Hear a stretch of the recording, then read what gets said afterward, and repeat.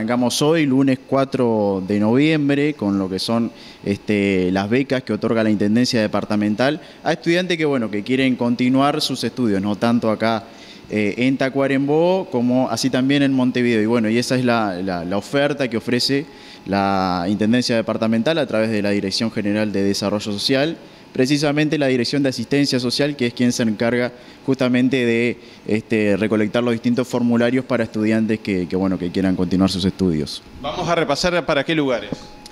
Eh, acá en Tacuarembó la oferta que tenemos es para el hogar estudiantil, que bueno, que es para menores de 18 años de edad, chiquilines del interior del departamento, muchas veces que quieran, bueno, acá en Tacuarembó continuar sus estudios.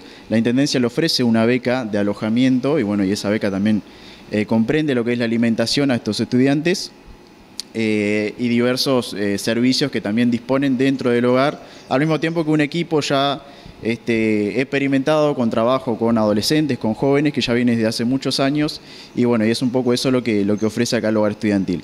Por otro lado, la residencia universitaria, que bueno, es para mayores de 18 años de edad, que bueno, quieren hacer carreras y estudios terciarios en Tacuarembó, eh, tanto que quieran estudiar como en, la UTU, en el Polo, en la UDELAR, en el IFD. Entonces, bueno, lo que se ofrece es eh, alojamiento, también se ofrece la alimentación y bueno, es un poco por ahí este, la oferta que tenemos en base acá a Tacuarembó precisamente. Bien, ¿de qué tipo de becas estamos hablando? Eh, ¿O en qué porcentaje de lo que es, obviamente, lo que se tiene que abonar para acceder al servicio? Bien, en cuanto al hogar estudiantil de acá de Tacuarembó, lo que se abona es eh, el costo de una BPC, que bueno, sabemos que varía este, todos los años, este, y se paga eso durante un mes este, por alojamiento y por la alimentación también. Eh, y en cuanto a la residencia universitaria, los precios son 1,25 el alojamiento y 1,5 este, la alimentación. Viene de lunes a viernes y bueno, y obviamente que pueden quedarse acá los estudiantes eh, los fines de semana.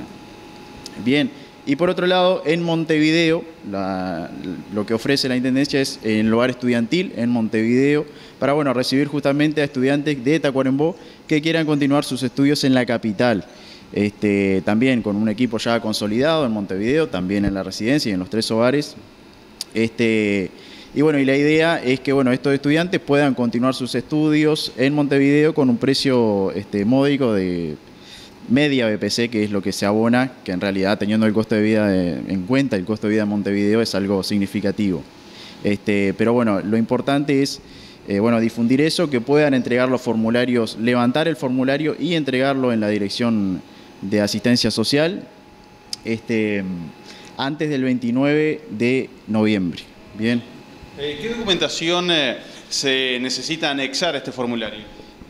documentación va desde la cédula, el recibo de antecedentes eh, judiciales, eh, negativo de tránsito, en fin, es un montón de, documentos y archivos, pero lo importante es que bueno, puedan juntarlo a tiempo, entregarlos en tiempo y forma en la dirección de asistencia y también, este, importante mencionar, que los estudiantes puedan ser partícipes de este proceso, ¿no? de juntar la documentación, de tomar ellos la iniciativa para solicitar sea esta beca o sean las demás becas que también hay de alojamiento, hay de eh, apoyo económico también.